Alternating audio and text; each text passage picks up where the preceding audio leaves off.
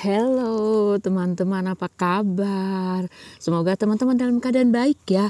Nih aku lagi kepengen makan tahu isi teman-teman. Gimana caranya bikin sendiri teman-teman? Tuh ya aku lagi mau makan ya teman-teman ya. Hmm, hmm, hmm, enak teman-teman. Mantap. Hmm. Oke teman-teman sampai ketemu video berikutnya.